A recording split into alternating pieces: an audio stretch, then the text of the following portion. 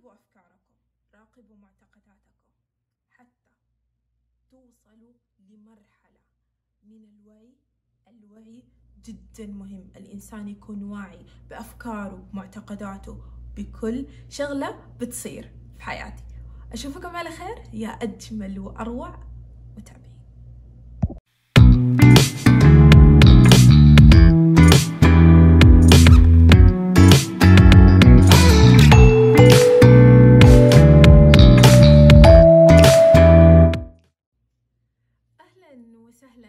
أصدقائي الجميلين والرائعين والمميزين. أتمنى أنه كلكم تكونوا بخير وصحة وعافية وسعادة وجمال عليكم يا أجمل وأروع متابعين. قبل تكلمت معاكم شلون ننظف أفكارنا كيف نجيب ورقة ونكتب ون... ونشقها أعطيتكم كل الطريقة. لكن اليوم راح أعلمكم وشلون نقدر نزيل المعتقدات اللي بتعيقنا بتعيق انه إحنا مثلا نبغى نحصل على وظيفة نبغى نحصل على الثراء نبغى نحصل على الحب نبغى حتى حب الذات إذا عندك معتقد خاطئ له كيف بيعيقك إنه أنت ما تحصل على هذا الحب؟ إيش الأشياء اللي إحنا راح نعملها؟ step ورا step مع بعض أنا وإنتو. يا أجمل وأروع متابعين. اللي حابب إنه يسمع الموضوع نفسه موجود على ال SoundCloud والرابط تحت في الوصف. okay؟ يا جميلين خلونا نبدأ سوا. أول شغلة أول أول أول أول كل شيء نبغى نبدأه في حياتنا لازم نتوكل على الله سبحانه وتعالى ونكون على ثقة على ثقة تماما بأنه الله سبحانه وتعالى معانا من أول خطوة للنهاية. ما بيتخلى عننا دائما موجود بحياتنا. okay؟ هذه أول نقطة نكون متوكلين على الله سبحانه وتعالى حتى نجذب كل شغلة جميلة إحنا حابينها في حياتنا. نزلت لكم على ال SoundCloud كيف إحنا راح نجذب أي شيء نبغاه إيش راح نعمل الخطوات. كمان نزلت لكم جذب الوظيفة ومن يومين نزلت لكم جذب الثراء وبعد يومين كمان راح أنزل لكم شلون راح نجذب آه الحب. حب الذات. بعدين راح نجذب الجواز. الزواج. السفر. أشياء مرة كثيرة. بإذن الله إنه أحلامنا كلها تتحقق. أول شغلة لازم نكون متوكلين على الله سبحانه وتعالى حتى نقدر نجذب كل شيء إحنا نبغاه وننظف كل الأشياء اللي قاعدة تعيقنا. الحب الوظيفة المال الزواج. وأهم شغلة إحنا يمكن مهمة جدا في حياة كل إنسان إنه يجذب الوظيفة والمال لحياته. الوظيفة ممكن إنه البعض آه مفهوم الوظيفة عنده هو اللي بيعيقه. خلونا نمشي خطوة بخطوة. لازم من الضروري لازم كل واحد مننا ينظف هذا الشيء. بالأول لازم نحضر ورقة بيضة بيضة بيضة بيضة. ما فيها ولا شيء. أعرف إن البعض حيقول لي الورقة اللي معاكي صفراء طيب أهم شيء انه ورقة آه فاضية آه تكون آه معانا. نحضرها نجيبها. وبعدين نقسم هذه الورقة لنصين.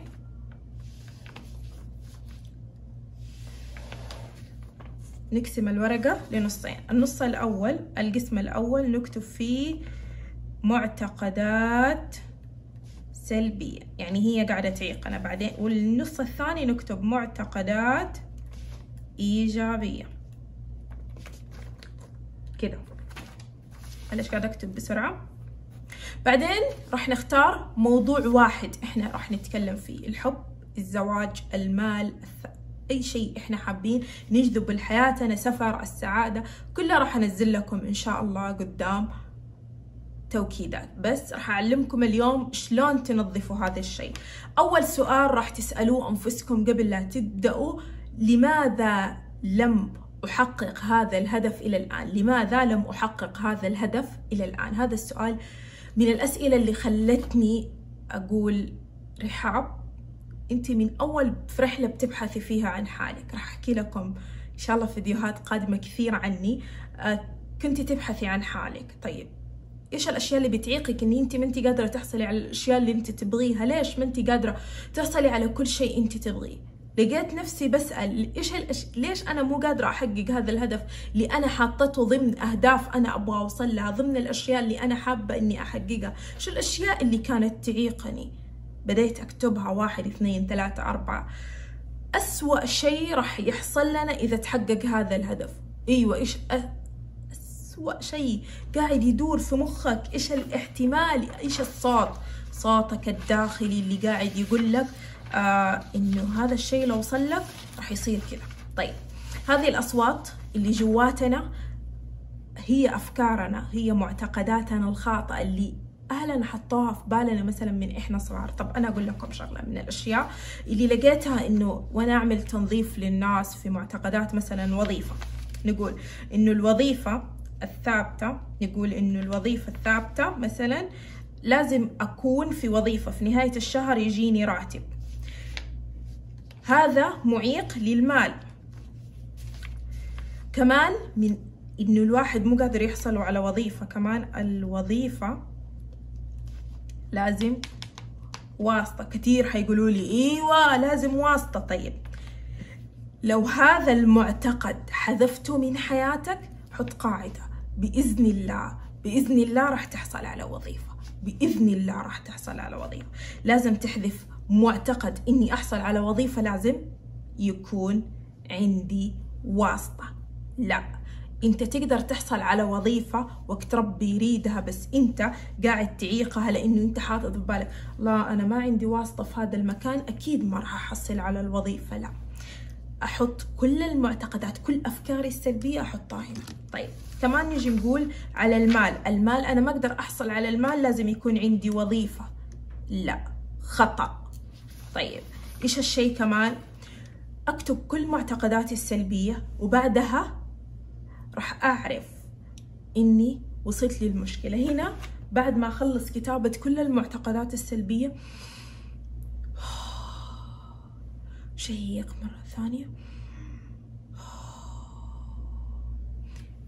مجرد ما أخلص من كتابتها وأخذت نفس عميق ونفس عميق مرة ثانية والثالثة أكون وصلت لمرحلة فيها اسمها بداية الوعي. إني أنا عرفت أحدد المشكلة عرفت إيش المشكلة اللي قاعدة تعيقني إيش المشكلة اللي بتخليني إني أنا ماني قادرة أوصل لهدفي. هنا أقول لك برافو عليك. أنت كتبت كل الأشياء اللي قاعدة تعيقك. طيب كيف أنا أقدر أحول كل المعتقدات السلبية اللي عندي كل الأفكار اللي ما هي جيدة موجودة عندي تجاه المال تجاه الزواج تجاه السفر تجاه السعادة تجاه أشياء كثيرة مثلا. المهم إني أختار موضوع واحد أبدأ أفرغه. بعدين أبدأ إيش أعمل؟ بالنقطة الثانية ببدأ أكتب الأشياء الإيجابية في الجهة الثانية. طيب.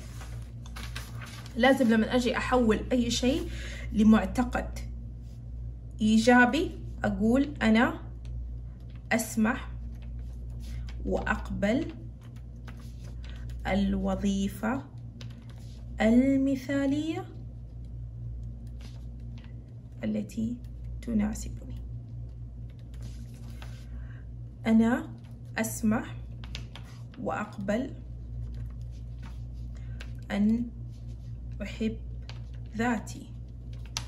هذا اللي عنده معتقد إنه حب الذات أنانية وهناك فرق ما بين الأنانية وحب الذات. إن شاء الله راح في اللقاء التعريفي اللي راح أعمله يوم الخميس 24 أكتوبر بجدة راح أتكلم فيه. اللقاء مدته آه، ساعة. راح أتكلم فيه إيش الأشياء اللي راح نتعلمها في رحلة حب الذات؟ طيب هذه الرحلة إيش الأشياء المعتقد حق الأنانية؟ هذا حنناقشه. أنا متأكدة إني حناقش فيه مع كثير من الأشياء. وخ... ولا تكتب. نرجع لموضوعنا. لما نجي نكتب في معتقد إيجابي عفوا خرجت كذا. نجي نكتب في معتقد إيجابي لا أكت... لا تكتبوا أنا لا أستطيع أنا أنا لن أنا ابدا أداة النفي ما نكتبها بس نكتب أنا أسمح أنا أقبل أنا مغناطيس أنا أحب. لازم تكون على قناعة تامة إنه هذا الشيء راح يصير معك. okay؟ please أصدقائي. المهم إنها تكون بصيغة المضارع المضارع الآن. ولازم تكتبوها بخط يدكم. كل شغلة تبغوا تتخلصوا منها. كل فكرة مو جميلة مو على الجوال. نكتب بخط اليد في ورقة فارقة ما فيها أي شيء. بليز أصدقائي. طيب أنا لما أجي أكتب أنا أسمح وأقبل بالوظيفة المثالية. هذا الكلام هو توكيد لحالي. طيب البعض منكم ممكن يلجأ إنه يسمع توكيدات من غيره.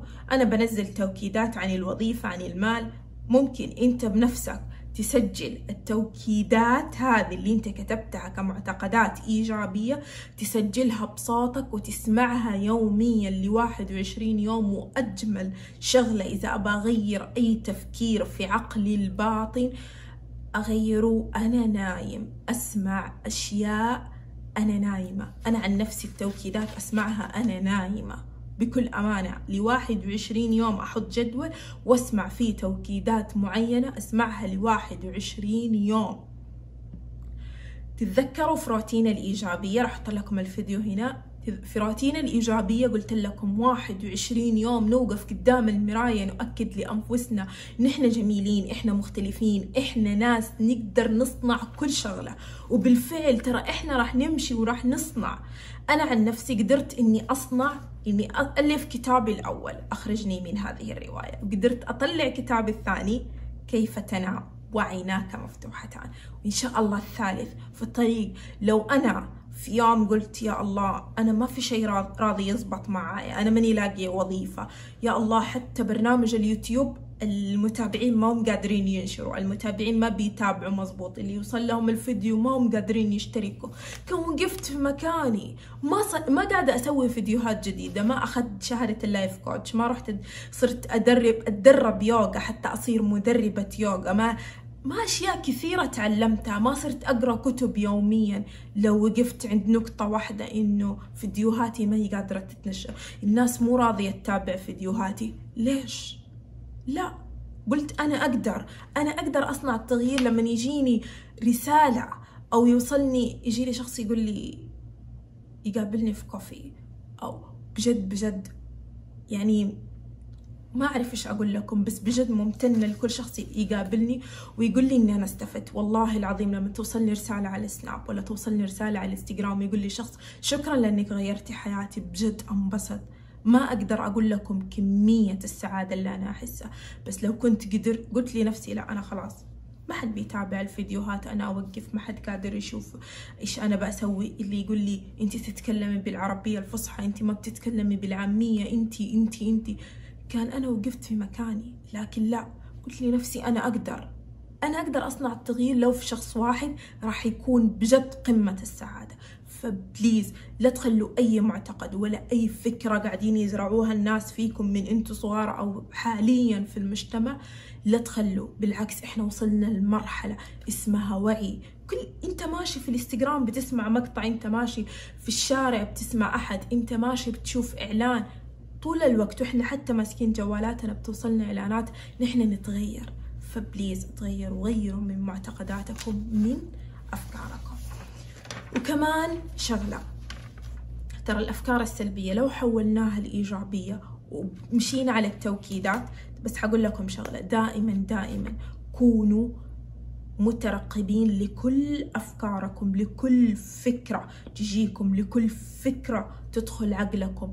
حاولوا إنكم تراقبوها. سطب ورا سطب صح راح تكون صعبة في الأول إن أنت تغير فكرة مثلا لها عشرين عام معك ثلاثين سنة أربعين سنة معك بس أنتوا تقدروا إن أنتوا تغيروا هذه الفكرة. أي فكرة سلبية نبى نتخلص منها راح تيجي سلبية فكرة سلبية ثانية راح تيجي سلبية ثانية. كل ما تخلصنا من وحدة جات ثانية كل ما تخلصنا من وحدة راح تيجي بس أكيد مع التكرار مع التكرار مع التكرار إنه أنا بنظف أول بأول. كل ما جاتني فكرة مسكت ورقة وقلم وبديت أكتب 21 يوم أوكد لنفسي إني أنا أسوي.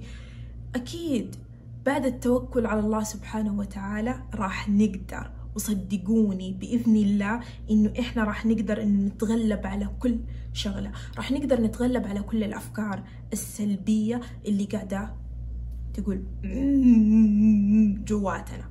أوكي؟ صمت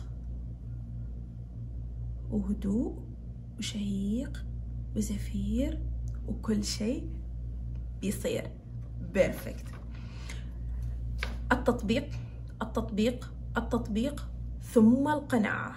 أطبق أطبق أطبق وأنا مقتنع راح أوصل. تطبيق تطبيق مع قناعة راح أوصل في النهاية. كمان أقول لكم شغلة من أساسيات أني أنا أحذف كل الأفكار كل المعتقدات السلبية اللي بتجي في بالي. التأمل التأمل إيش أحكي لكم عن التأمل؟ التأمل طاقة جميلة. التأمل روح. جميلة.